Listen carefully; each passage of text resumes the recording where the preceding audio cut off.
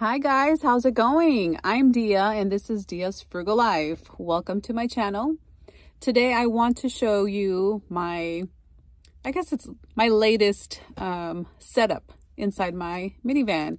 This is a 2018 Toyota Sienna and I nicknamed her my SHTF van, my shit hit the fan van.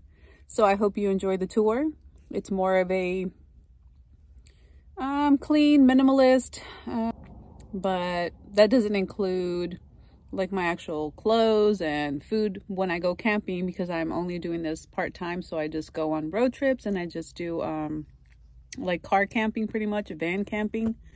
And I live in a different uh, vehicle, which is an RV right now. Um, I've lived full-time in a van before, not this one. I had one previous to this one. And I had an even more simple uh, no build build, which was really nice. It was really nice. But at the same time, um, I probably should have put more in there than than what I had. and now I'm making this one, uh, the 2.0, um, my second van, the 2.0 setup, but it's also a no build build. And I'm just kind of moving things around periodically, upgrading things and taking things away and just like we all do, right? trial and error and after we see what we actually want, what we need, what we don't want, what works, what doesn't, etc. But anyhow, I'm just going to give you a quick overview and walk around the van and then show you um, just a kind of a quick tour of what I actually have and how I have it set up now. And I actually like it the way that it is because I have a lot of kitchen. So to me, what's important is a comfortable bed, a uh, big kitchen, as big as I can get it, and also the most reliable vehicle that I can possibly own. So that's why I have a Toyota.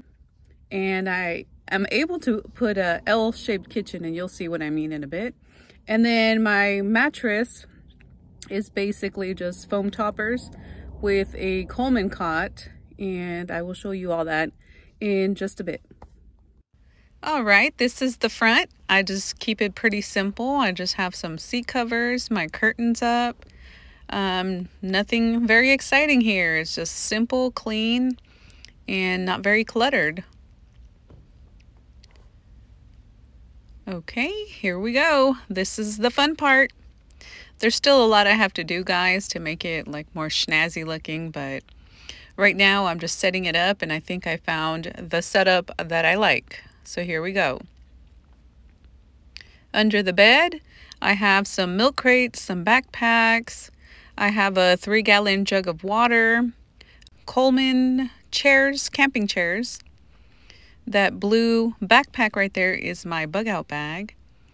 That brown table is a shoe rack, which is my kitchenette.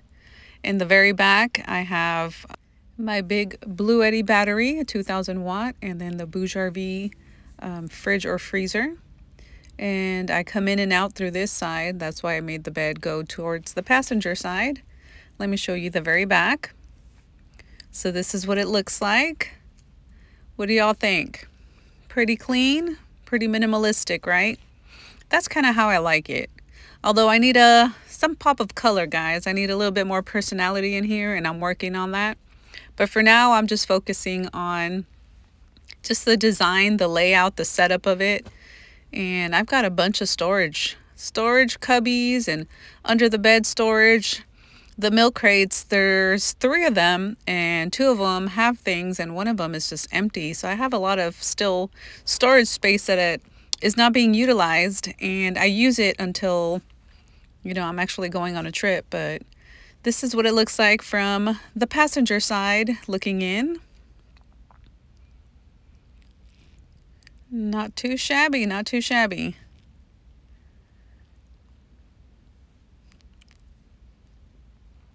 Yeah, you can see my milk crates in my backpack.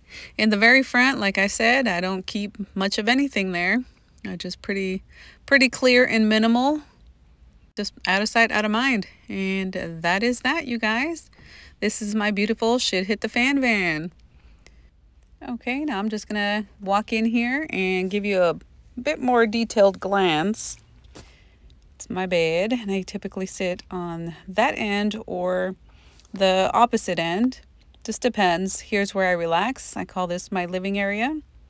And I don't have anything blocking, so in an emergency, I can just hop to the front and start the van and take off, guys. But my curtains are kind of uh, not working. Anyhow, yeah, this is my kitchenette area. So I have the small EB3A, the smaller Bluetti, which I have really loved. I love using that. And I pair it with that Dezin hot pot and I cook a lot of yummy meals in this van. Um, back here is where I was telling you guys I have my big Bluetti. I think it's the AC200P. It's a 2000 watt and that one's going to be mainly just for my my fridge my fridge and the bigger appliances when I happen to use them but I really love that big old sucker. Oh my God, it, it is powerful, guys. And then this is a 23 quart Bouge RV, and I love, I love it. Both of those combined together are great. But I keep it covered mainly so it's out of sight, out of mind, plus it keeps all the dust off of it. When I happen to go on a trip, then I'll I'll take the, the cover off. But for now, that works. I've got tons of storage, guys cubbies, storage, cup holders. They're everywhere. And these back windows are awesome. I can manually open it when I need some breeze, some air. If I'm cooking, I can just pop those windows open without having to turn on the key and start the vehicle or put it on the accessory. That's awesome. But yeah, I'm going to be changing out the curtains, you guys, because it's not wide enough to cover. But it works for now. And now this is what I was talking about, an L-shaped kitchen. And that's quite a bit of kitchen for this small of a space. And then as far as my bed, like I mentioned, I just have a bunch of foam toppers. There's four foam toppers that are just cut to size, plus the little foam mattress that came with the cot. My window covers are under my my uh, bed, I guess. and it's a Coleman Comfort Smart, which I have a video on that too. It is awesome, you guys. I love it. I recommend it. Highly recommend all the gear that I have. I highly recommend it, and it has worked well for me.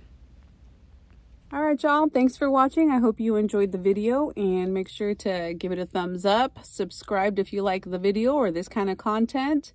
Um, I also have a whole variety of videos that I do just based upon my frugal life, my experiences, my adventures, and my simple, basic, frugal life pretty much. But anyhow, thanks so much for watching and I will catch you guys on the next video. Bye guys. Thanks so much for watching Dia's Frugal Life. I'm Dia, and if you enjoy the content, make sure to subscribe for more future videos. Hit that thumbs up, put a comment on there, all that good stuff. You can also join the channel and become part of our coffee club. Thanks for all your love and support. Bye guys!